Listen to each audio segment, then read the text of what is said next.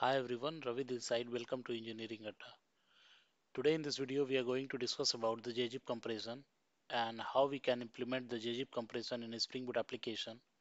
Everything we are going to discuss in this video. I'm going to divide this video in two parts. The first one will be the basic discussion about the GZIP compression. What is GZIP compression and what are its benefits and drawbacks and how we can implement it out what are the technology that it uses to do the compression everything we are going to discuss in the in this video which is the first part of the video. And on the second one what we'll do we'll try to create a spring boot application and practically we'll try to see how we can implement the GZIP in the spring boot application in the form of REST API so let's get started for that and let me try to go to the next slide to discuss about what is GZIP compression so what is GZIP compression GZIP compression is a method used to reduce the size of the files or the data by compressing them into the smaller packages. So it is nothing but it is a kind of practice or you can say the method to reduce the size of the files or the data by compressing them into the smaller packages. It widely used on the internet to reduce the amount of data that need to be transferred between the server and the client, thereby improving the website loading time and reducing the bandwidth uses. So these are the benefit of uh, compression. It helps us in improving the website loading and reducing the bandwidth uses. Now let me try to go to the next slide and show you how it works and which technology the GZIP compression uses. Okay, so GZIP compression uses the deflate algorithm to compress the files. What is deflate algorithm? It replaces repetitive string of data with the references, making the data more compact. For instance, if there is a long string of repetitive characters or the patterns, GZIP replaces those patterns with the shorter representations, reducing the overall size of the data. Okay, so this is how the GZIP uh, uses the deflate algorithm uh, to do the compression. And in the deflate algorithm, what happens is if there is a long string of repetitive characters or the patterns, then it replaces those patterns with a shorter representation, reducing the overall size of the data. Okay, so the GZIP uses the deflate algorithm to do the compression. Apart from deflate algorithm, there are other techniques like LZ77 and LZ78.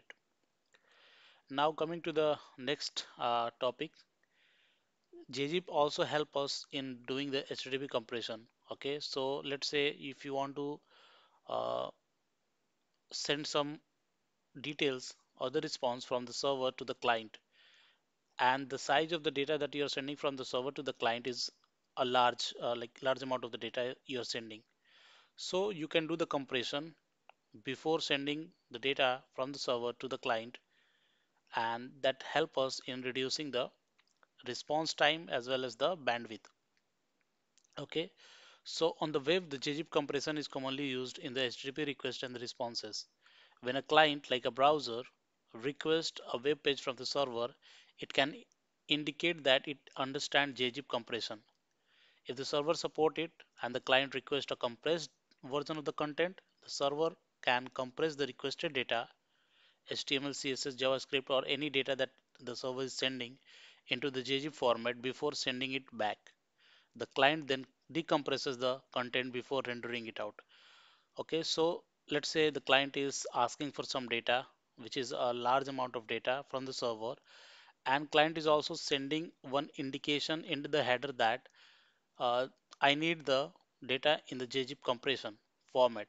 Then when the server will get that request from the client, what it will do, it will pick out the data, compress it out in the GZIP and then send it back to the client. Once the client receives the data, it will decompress using the GZIP decompression. So this is how the GZIP help us. Uh, now let me try to go to the next slide and discuss about the benefit of the GZIP compression. So GZIP compression significantly reduces the amount of data transferred over the network. A smaller file sizes means faster download times, which lead to the quicker website loading, better user experience, and reduced bandwidth consumption, especially on the slower internet connection of the mobile networks. So these are the benefit of the GZIP.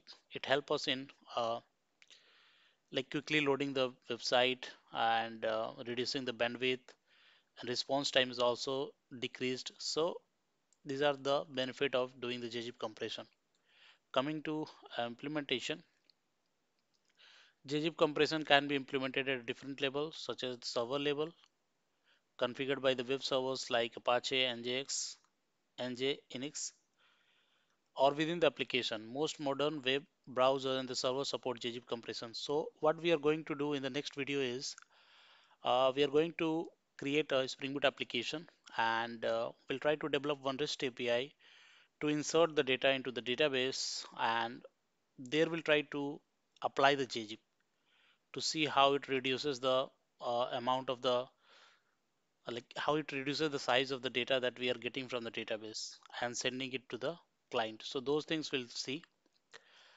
And uh, yeah uh, so these are the implementation of the GZIP compression. Most of the web browsers uh, like they allow us to do the GZIP compression.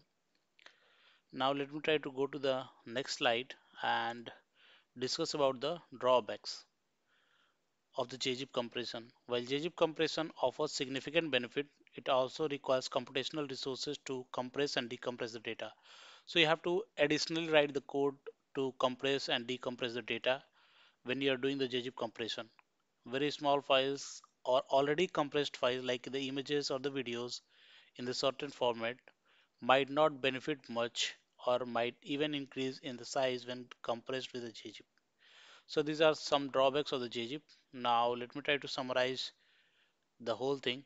So overall GZIP compression is widely used and effective method for the reducing file sizes, improving web performance and optimizing the data transfer over the internet.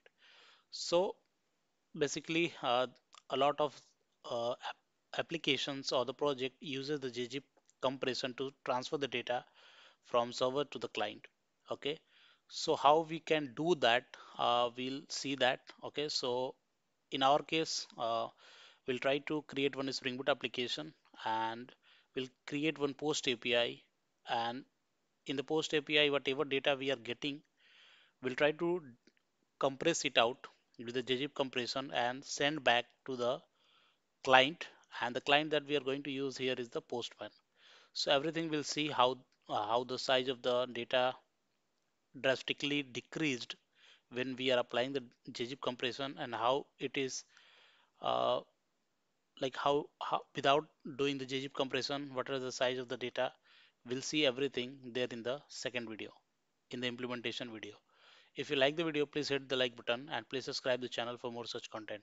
Thanks